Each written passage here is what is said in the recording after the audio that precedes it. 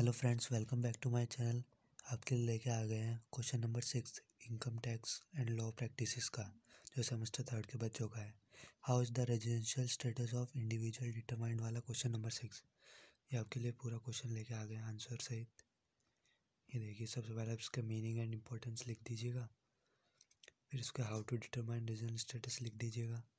फिर the tax liability differs for each for above categories फिर residents लिख दीजिएगा, जिसके पॉइंट्स लिख देगा फ़र्स्ट और सेकंड फिर in the event hour from the financial year दो हज़ार बीस इक्कीस डिविडेंड फिर आप ये चाहे तो ये इस टाइप से भी बना सकते हैं वन एट्टी टू में वर्डेस लेस दैन ये डायग्राम टाइप भी बना सकते हैं। फिर रेजिडेंट्स नो रेजिडेंट ये भी फिर दोबारा पॉइंट लिख दीजिएगा। आपके आराम से क्वेश्चन नंबर सिक्स पाँच से छः पेज में कर दीजिएगा आप आराम से। बिल्कुल क्लियर कर दीजिएगा। जैसे कि देख सकते हैं, मैं धीरे धीरे स्क्रॉल कर रहा हूँ। आप इसके स्क्रीनशॉट ले लेके फटाफट कर दीजिएगा इसे वीडियो को पॉज करके भी कर सकते हैं, चाहे तो। ये आपके लिए पूरा क्वेश्चन नंबर सिक्स जैनवन ला दिया गया है।